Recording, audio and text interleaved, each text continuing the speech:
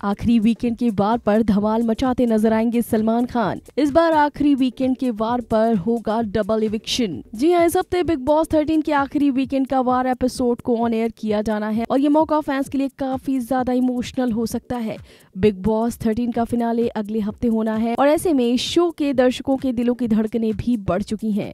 साफ़ तौर पर मुकाबला सिद्धार्थ शुक्ला, रश्मि देसाई और असीम रियाज के बीच ही देखा जा रहा है और अब इस शो को लेकर एक ऐसी खबर सामने आ रही है जो कि लोगों के होश उड़ा सकती है। सोर्सेस की माने तो इस हफ़्ते दो लोगों को बाहर का रास्ता दिखाया जा सकता है। ऐसी खबरें सामने आ रही थी और अब लगता है मेकर्स वाकई में कुछ ऐसा ही करने वाले हैं और इस हफ़्ते डबल इविक्शन हो सकता है। सोर्सेस की माने तो इस हफ़्ते के वीकेंड का वार पर सलमान खान इविक्शन प्रक्रिया के दौरान दो लोगों के नामों की अनाउंसमेंट कर सकते हैं। आज रात सिद्धार्थ शुक्ला पारस छाबड़ा को अपनी इम्यूनिटी दे देंगे। ऐसे में साफ़ है असीम रियाज, रश्मि देसाई के साथ साथ पारस छाबड़ा फिनाले की रेस में सबसे आगे हैं।